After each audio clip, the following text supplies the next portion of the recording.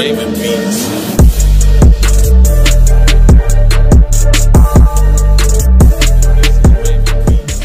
klub yang bakal jadi pesaing kuat Arema di BRI Liga 1 musim depan. Arema FC, tim berjuluk Singo Edan ini gerak cepat merekrut sejumlah pemain baru. Tercatat ada tujuh amunisi baru Arema FC untuk menghadapi musim depan. Ketujuh pemain tersebut adalah Gian Zola, Rendika Rama, Evan Dimas, Hani Sagara Putra, Ilham Udin Armayan, Adam Alis, dan Hasim Kipu.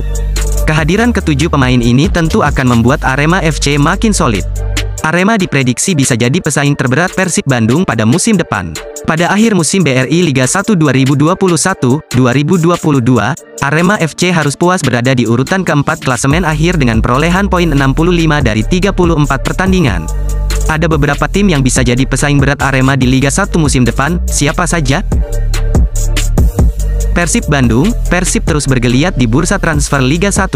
Skuad Maung Bandung baru saja merampungkan perekrutan bomber asal Brasil, Ciro Alves dari Persikabo. Ciro Alves diikat kontrak selama 2 tahun dengan opsi perpanjangan satu musim.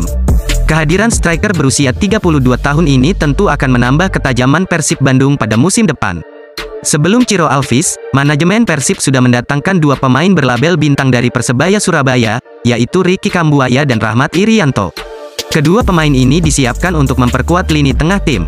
Meskipun punya skuad mewah, tapi tidak menjamin Persib akan mudah menyabet gelar juara Liga 1.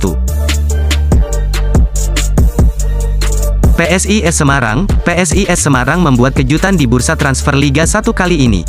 Laskar Mahesa Jenar mendatangkan dua pemain berlabel bintang sebagai gebrakan awal, yaitu dua pemain debutan di BRI Liga 1 2021-2022, Taisei Marukawa dan Carlos Fortes. Bergabungnya Taisei Marukawa dan Carlos Fortes ke PSIS tentunya jadi ancaman berbahaya bagi tim lawan. Sebab kualitas keduanya sudah tidak diragukan lagi. Taisei sebelumnya merupakan pilar andalan Persebaya Surabaya. Sedangkan, Carlos Fortes merupakan mesin gol Arema FC dengan catatan 20 gol dari 31 pertandingan. Pada BRI Liga 1 2021-2022, PSIS menghuni papan tengah. PSIS berada di peringkat ketujuh dalam klasemen akhir dengan raihan 46 poin dari 34 laga. Persija Jakarta, Macan Kemayoran mulai berbenah untuk menyongsong musim depan. Persija Jakarta sejauh ini berhasil merekrut tiga pemain lokal anyar, yakni Firza Andika, Hanif Syahbandi, dan Hansamu Yama. Persija mendatangkan Firza Andika dari Persikabo dan Hanif Syahbandi dari Arema FC. Sedangkan, Hansamu Yama dari Bayangkara FC. Pengalaman ketiga pemain ini di level timnas Indonesia tentu menjadi modal berharga bagi Persija Jakarta. Kabarnya Persija juga akan merekrut pelatih anyar berkualitas. Dalam BRI Liga 1 2021-2022, Persija harus puas menempati posisi ke-8 di klasemen akhir kompetisi. Persija memperoleh 45 poin dari 34 pertandingan.